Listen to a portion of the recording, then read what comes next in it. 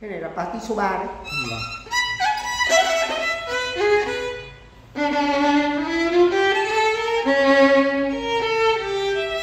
đây là cổ điển thuần túy